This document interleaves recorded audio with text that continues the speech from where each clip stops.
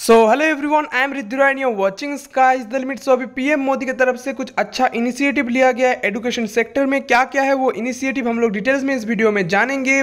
तो डिटेल्स में ये वीडियो देखिए ताकि आपको पता चले स्कूल कॉलेज के स्टूडेंट्स के लिए क्या क्या नया बेनिफिट आने वाला है। तो वीडियो को अंत तक देखना वीडियो को शेयर करना चैनल को सब्सक्राइब करना।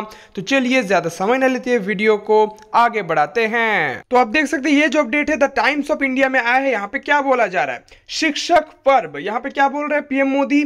PM launches initiative in education sector education sector में नया नया कुछ इनिशिएटिव लॉन्च किया जा रहा है। क्या बोला जा रहा है यहाँ पे? The initiative launched today will save the future of the sector one of the initiatives, school quality assessment and assurance will not only make education competitive, but will also make students future ready pm Narendra Modi क्या बोला जा रहा है यहाँ पे? देखिए details में मैं आपको बताता हूँ। New Delhi PM uh, Narendra Modi on Tuesday launched several initiatives in the education sector, asserting that they will play an important role in shaping India of the future.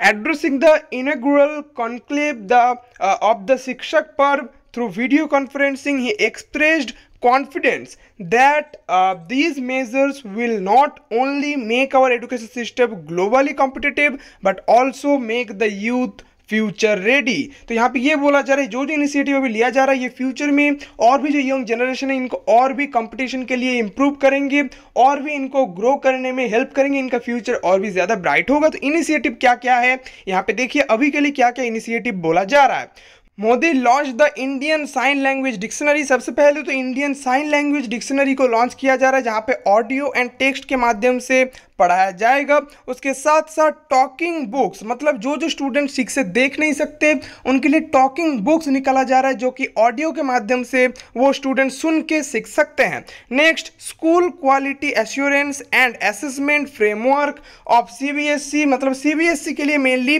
Central government की जो organisation है, सबसे पहले उनके लिए, उनके under के जो स्कूल्स है, उनके लिए किया जाएगा। उसके बाद धीरे धीरे धीरे करके होपफुली स्टेट गवर्नमेंट के अंडर में जो स्कूल्स हैं, उनके लिए भी इंप्रूवमेंट आएगा। यहाँ पे क्या बोला जा रहा है? School quality assurance and assessment framework, ये भी लॉन्च किया जाएगा पीएम मोदी के तरफ़ इसका जो मेन थीम रहेगा, ये यही रहेगा, आप देख सकते हैं, the theme of Shikshak Parv 2021 is quality and sustainable schools learning from schools in India तो बहुत ही अच्छा एक इनिशिएटिव लिया गया है। स्कूल को और भी ज़्यादा डेवलप किया जाएगा।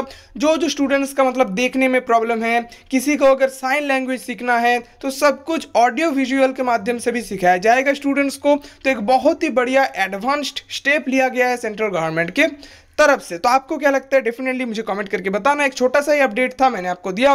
वीडियो कैसा लगा? डेफिनेटली कमेंट करना वीडियो को शेयर करना चैनल को सब्सक्राइब करना। तो चलिए आज के लिए इतना ही। बहुत जल्दी नया वीडियो के साथ फिर सब लोगों से मुलाकात होगी। तब तक के लिए बाय